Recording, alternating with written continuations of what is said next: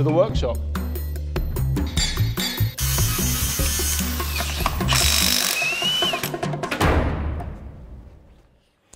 I thought today I might squeeze in a bit of work on the amazing Outspan Orange.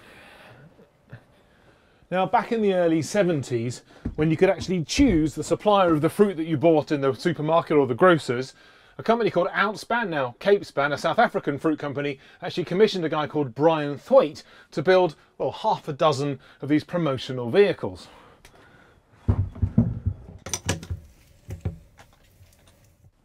Now, throughout the 70s and 80s, at fairs and outdoor events all over the country, you'd find one of these Outspan oranges doing its thing, sampling, giving out free oranges.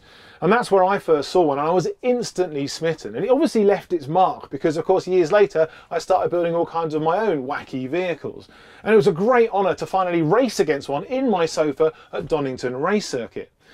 Now, over the years, fruit marketing changed, and unfortunately, these guys fell out of use, but you can still go and see them at museums such as the National Motor Museum at Beaulieu and also the Grampian Transport Museum up in Scotland. But the rest of them ended up in private hands, and I got hold of mine from Cape Capespan themselves, but unfortunately, it was in a really sorry state of repair. Basically, they'd been using it to supply bits to keep the other two on the road, and when I first got this, it had no windscreen at all. Now, of course, back in the day, it was an acrylic windscreen, which was no longer legal, so my first problem to solve was to actually get a glass windscreen made. So I went to the chaps over at Pilkington and they had a bit of a trouble trying to make one. And the reason it's so difficult, if you imagine that you've got a piece of glass, it's just like a bit of paper. You can bend it in one direction or you can bend it in the other direction, but you can't bend it into a compound curve. And of course, being an orange, being spherical, this is a compound curve. So they had a real battle trying to get the glass to actually bend into the right shape. And now they've finally got the molds or the pattern correct.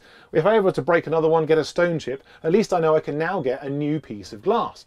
So having got my brand new windscreen, I was desperate to go on a drive. And so what I did is I went on the London to Brighton mini run because this Outspan Orange is based on a Mini. It was fantastic fun, really, really wonderful. I've done lots of other events since, things like Carfest and other various shows.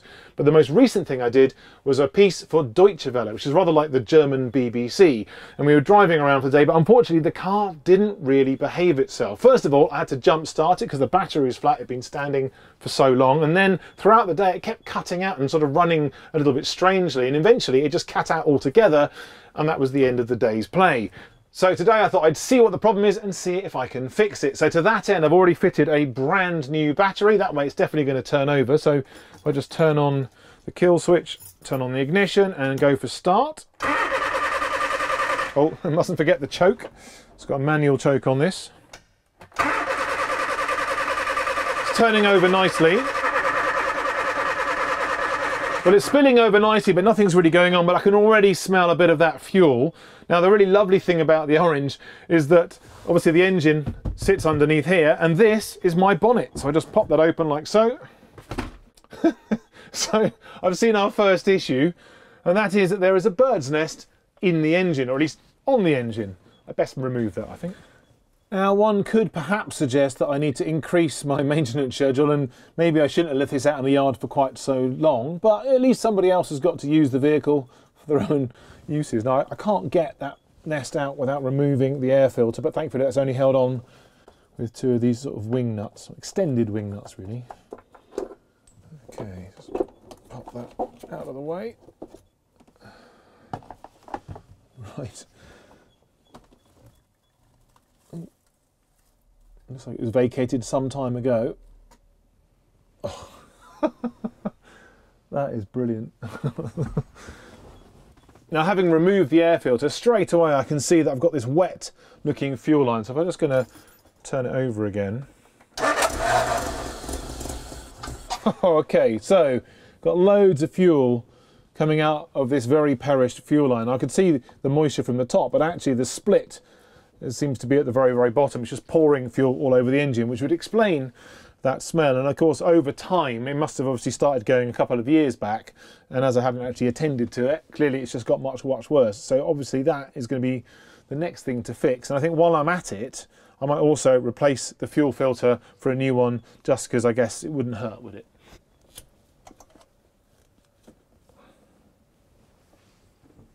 Oh, wow, okay. so it's completely perished. So you've got, you've got an in at that end and an out at that end. Okay, so then I just want to make sure that it's about the same sort of length, give or take. So I'm going to go for around about there. Cut that. And I can put that onto the engine bay.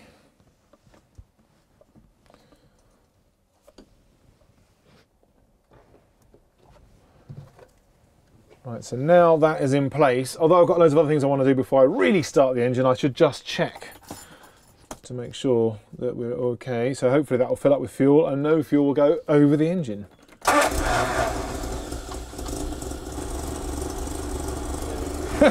well, that's a pleasant surprise.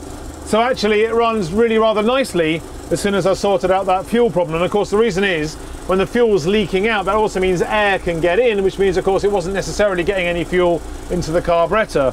But with that sorted, I might still do a few more checks just to make sure we've on a bit of a run. So the first of those being, I might as well change the air filter for a fresh new one because it has been a while.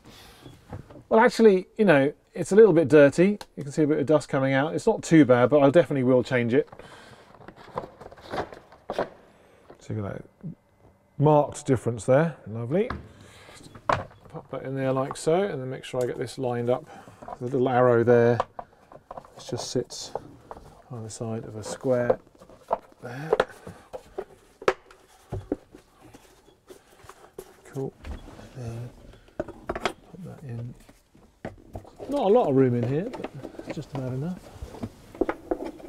Just sit on there like so. So now the air filter's done. The next thing to check is the spark plugs. Got no idea when they were last changed or even checked. So the first thing I'm going to do is just mark each of the leads so I don't get them confused.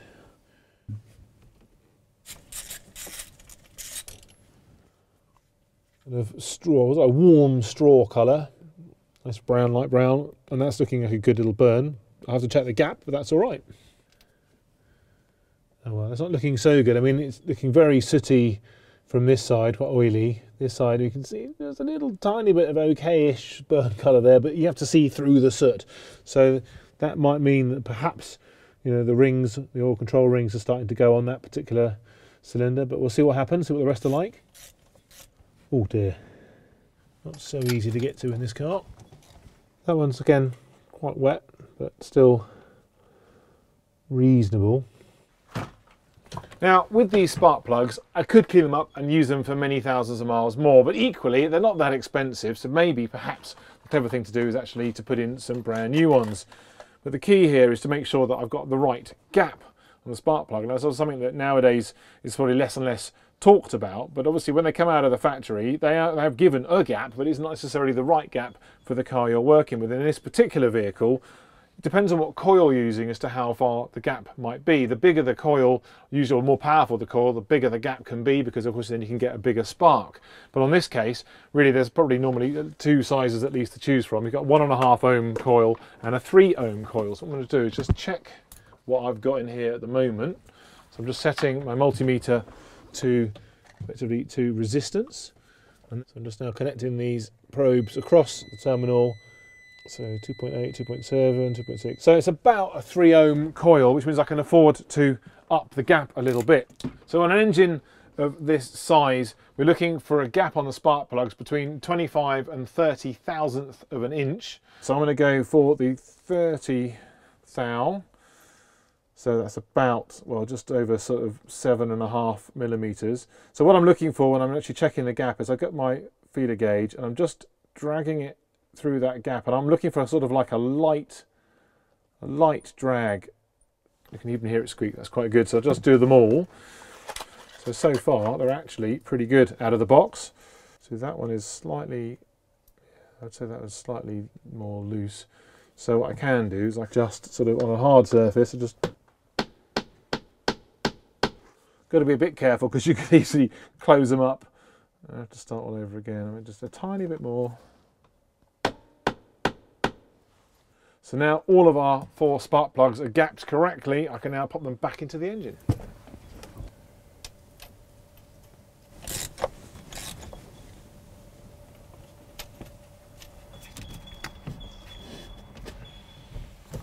So now the spark plugs are done, I want to check the distributor cap, make sure that's okay, and also the rotor arm. So actually the cap is looking quite reasonable. It's not too bad at all. I think I can do, I'll give it a bit of a clean. So uh, just looking at the rotor arm itself, there's a little bit of build up of oxidization, but actually now should be good. The cap's back on, that's okay. Just as hard to get to is the oil dipstick. If I can just reach in, oh look at that, that's pretty much bang on just under maximum, so that's fine.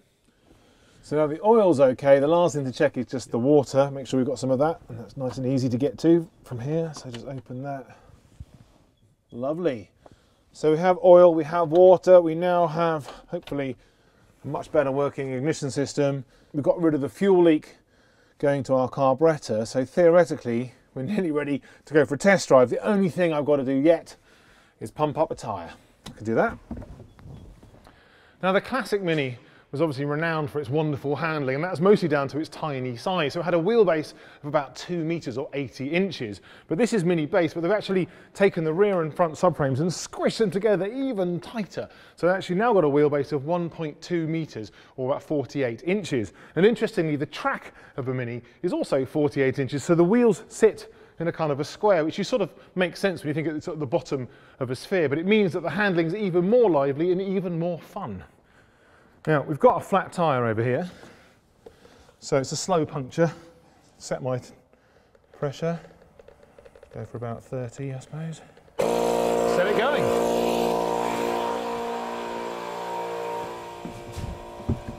Now another interesting quirk on this vehicle, it's mini base. In a classic Mini, the battery is based in the boot, but as you kind of walk through the boot, they had to put it just here on the side, but it's covered by a nice little bit of upholstery.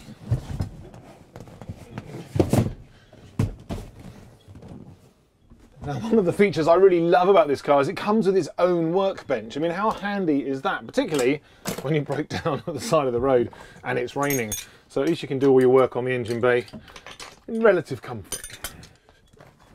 Now there are loads of features in here to remind you that you're driving a classic Mini. You've got that wonderful speeder there in the centre, you've got the dials, the switches, the choke, even the handbrake all comes straight out of the Mini.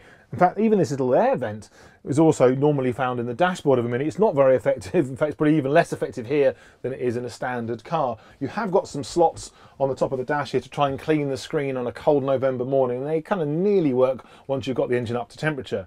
Now you may also notice there's a gear selector bolted to the floor. When I first got the vehicle, it was actually positioned in its original place up here on this platform by the seat. Now, first of all, it was quite awkward when it was rubbing up against your knee as you're driving along. But worse than that, there was a custom made control cable that went from that selector all the way down to where the gearbox connector is underneath the engine. And of course, because it was going through so many bends, it perished quite quickly. It failed. And in fact, to get us down on the London to Brighton, we had to borrow this just to get us out of trouble. And of course, it's remained there ever since. So I will attend to that sometime in the future. Now, perhaps the weirdest thing about this vehicle is its driving position. As you can see in that pedal box, there really isn't very much room for two legs unless you're really, really tiny. So for me, I have to drive it with one leg up and one leg down, which is actually quite comfortable, as it turns out.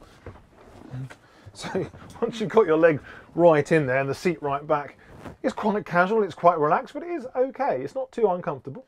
And in a place where there already isn't enough room, they've actually added a little trap door where you can see a brake reservoir. Now, even though the seating position is a little bit unconventional, one lovely thing about this is the massive amount of headroom, particularly for special occasions, because you've got room for a top hat. Even a stovepipe would fit in here. Wonderful.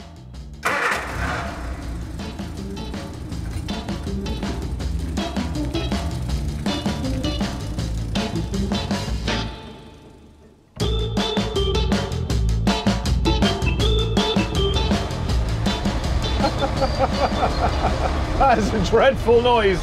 I'm quite glad actually, driving with the back door open. It's all right, it's quite nice, get some air going on. Oh, that noise is getting worse. I have a funny feeling something might explode any second, but anyway, we'll see how we get on.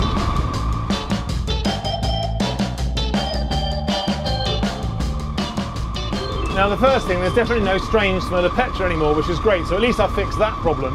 And actually, she's running quite nicely. Obviously, it's rather hard to ignore that rather horrible noise. It's a shocking noise, in fact. basically it's a bearing giving up and I think it's either coming from the alternator which is not so hard to fix or it might be coming from the water pump which is obviously a slightly bigger job on one of these particularly with that lack of space. So I'll have to have a look at those later. Also it's kind of a bit stuttery. It's sort of not really getting up and going and I noticed earlier on actually while I was playing around with the spark leads that there's a vacuum hose missing off the distributor I wasn't sure whether somebody had been fiddling and kind of come up with a proper setting, but also it was blanked off just by the carburettor. And I think it might be the fact that because we haven't got the vacuum connected to the carburettor, we no longer have the vacuum advance, which is perhaps why it's bogging down a little bit. So basically I'm now trying to give it a bit of acceleration, a bit of beans, not much is going on, so that's another job for the list.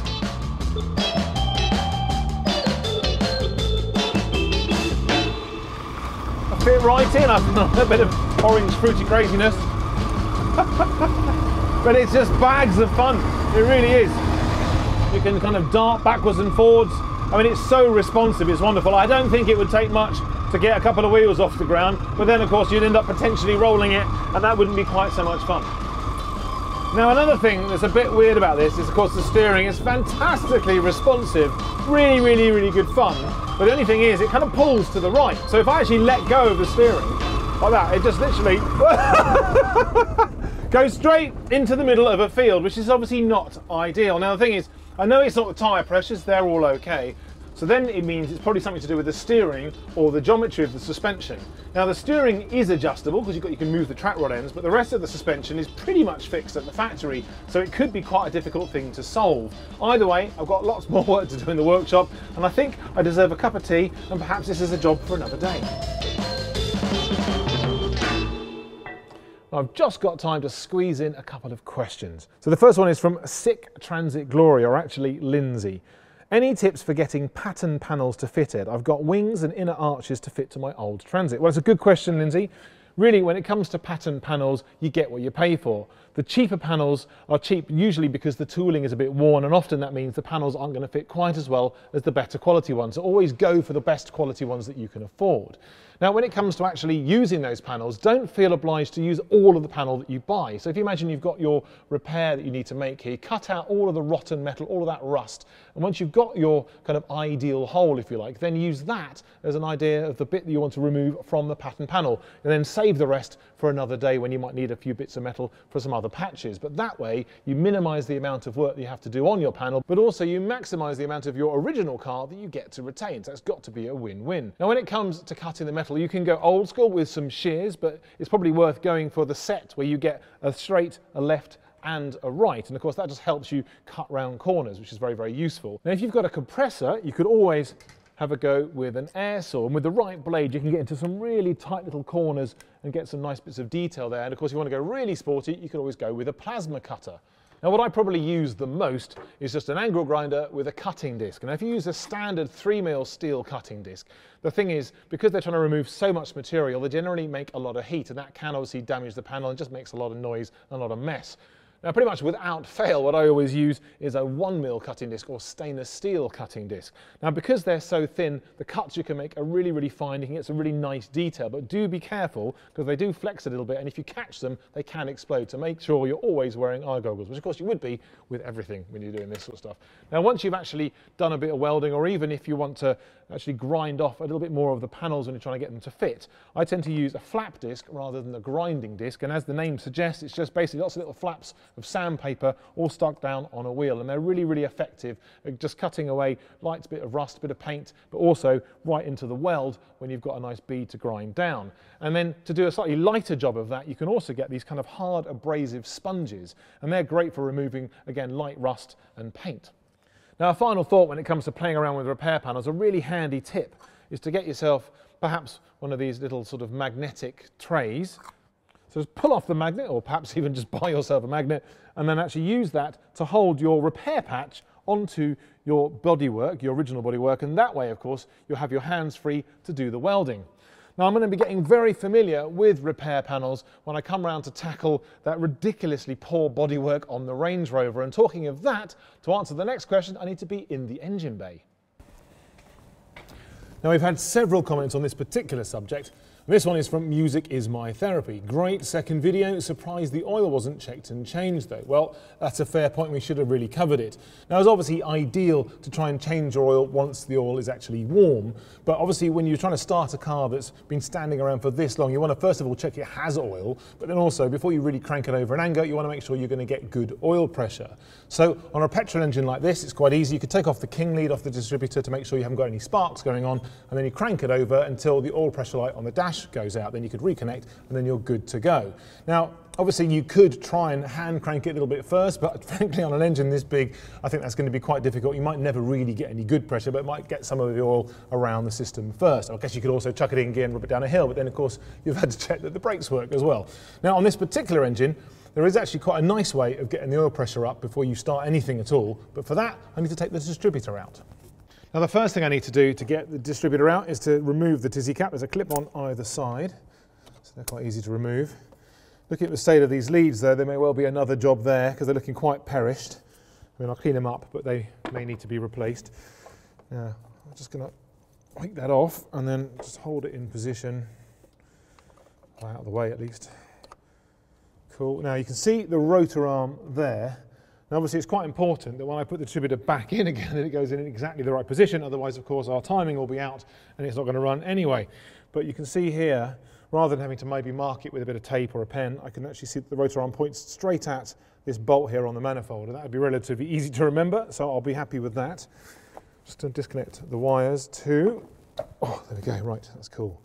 So now I'll just remove the vacuum pipe as well, which is also looking pretty perished. I might try here instead. And the problem is, of course, rubber does rather rot over time. So we have some fun with that later. Now, the next thing I need to do is get to the bolt just down inside there. So basically, the distributor is sort of held into the engine by just a clamp that sort of clamps over like the shaft or the sort of the shank of itself, and then it's actually held down by a bolt. So I'm just going to undo that, and then get to this bolt. It's a little bit fiddly, but it's okay.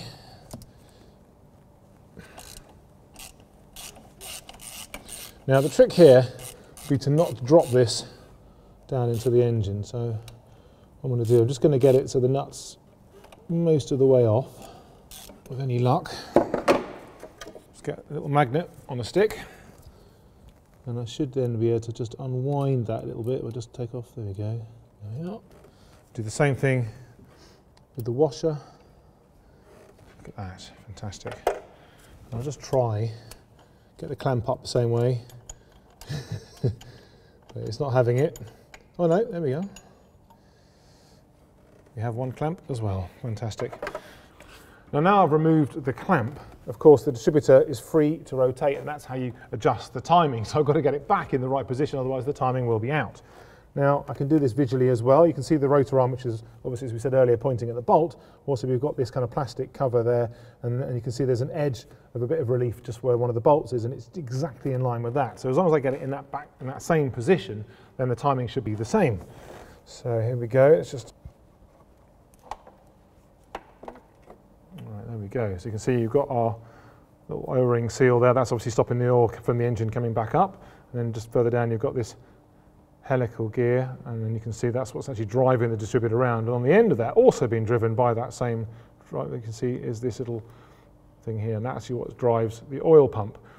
So my idea is to use one of these attached to a shaft. I can put that into a drill. I can then drive the oil pump directly, spin it up. That's going to push oil around all the galleries around the engine. And then eventually the oil pressure light is going to go off. And I know the oil is in all the areas, all those little nooks and crannies around the engine. Right, so I've got myself an old second hand sort of bottom of the drive, if you like. So there's the gear and there's the oh, oil. Take the pin out. Normally it takes a bit of going to get it out, but there we go. So that now is our oil pump drive. So I've also got myself a little bit of copper pipe there, drilled a hole in the end, so I can now just pop in nut and bolt.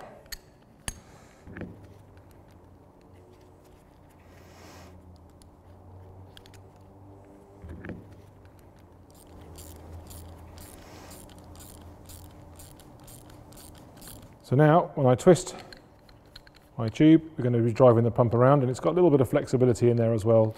Now unfortunately at the moment, my little bit of copper pipe doesn't actually fit into the chuck of my drill, but I do have a solution. So I've got this like a, a hexagonal hole in there, of course, for crimping electrical connectors. So what I'm going to do is I'm just going to pop this in, the, in like so, and then just going to gently operate it. What's going to be the jaws crush it. I'm just going to sort of tidy that up a little bit. And then we'll just go a little bit further along.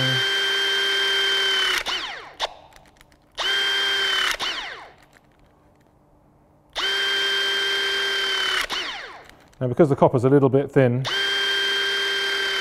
and I'm over pushing it a little bit, you can see you get this little sort of flange on the edge there, but that's okay because I can just crush that down. So now, hopefully, we should now have some joy. Look at that. Right, so pop it on there. So now what I need to do is just pop it into here. And one last thing I need to make sure is also have a little look and see where the oil drive is sitting at the moment. So right now it's basically going kind of longitudinally along the length of the van.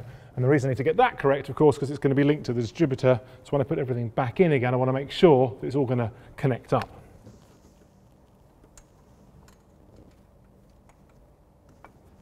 Okay.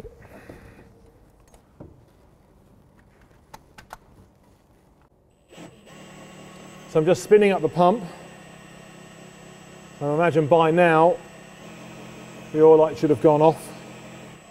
Just check that. Brilliant. So we now definitely have oil pressure. So now I put everything back together again and I know that at least the engine oil is primed and it's ready to be started. Now one last thing I've got to do, of course, before I leave this or start to put it back together again, is got to make sure that our little drive at the bottom there is in the right orientation. So it was going front to back or axially, and so now I'll just do, right, so that is now going basically the same line as the car. So we're in good shape, ready to put everything back together again. So that was a great question, thank you very much. Now, obviously this Range Rover is fighting me a little bit, and of course the jobs are rather expanding from when I first took it on, but it's okay because that's partly where the fun is, but also my mate John is one of those guys who can never do enough for you. And frankly, he's helping me out on the electric ice cream van project with all the refrigeration work. And talking of that, here's the next instalment. With the diesel engine gone and being replaced with an electric motor, the flywheel is only needed to support the clutch mechanism, as there's no engine vibration to smooth out. With no need for the damping properties of a dual mass flywheel, I opted for a solid flywheel from an older model but I still didn't need the extra weight, particularly on the outer part of the flywheel, so the excess steel is removed on the lathe.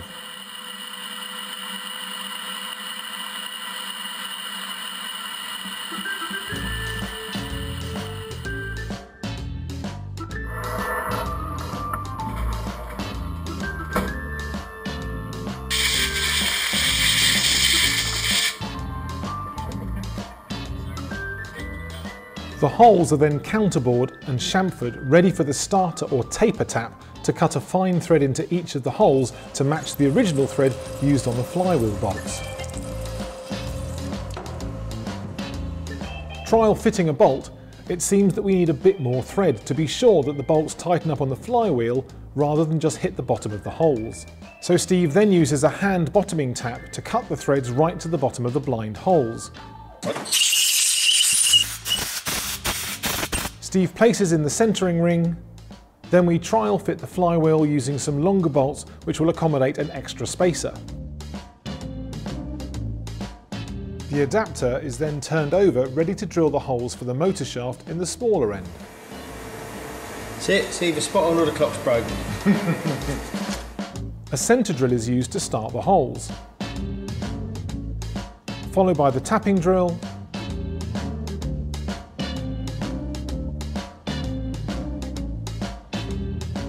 and then the counterbore.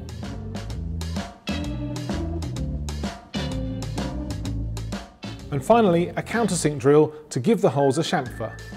Pretty much the same procedure as for the flywheel end, this time with smaller holes for the smaller bolts. Then the milling machine is used to wind a taper tap in and out to get the thread started.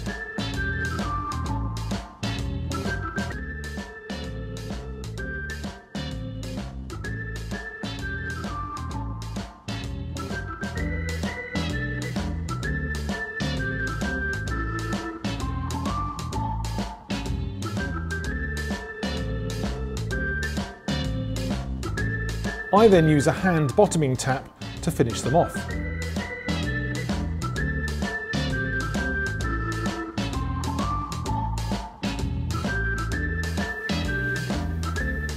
Finally, Steve adds a small chamfer to each freshly drilled hole in the motor shaft flange to ease assembly. Here is our turn down flywheel and our shaft with the bearings as well. So now what I can do is connect the gearbox to the motor. Just try and get that into position. It's obviously a lot easier on the bench than it would be trying to do it in the engine bay. Right, there we go. So that's now in position.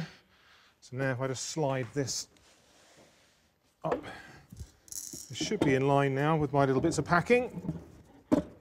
Right, so now this is where they're going to sit in space, if you like. So what I need to do now is design a way of connecting this surface to this surface while keeping everything perfectly aligned. And for that, I'm going to need a couple of hours on my 3D design software, SolidWorks.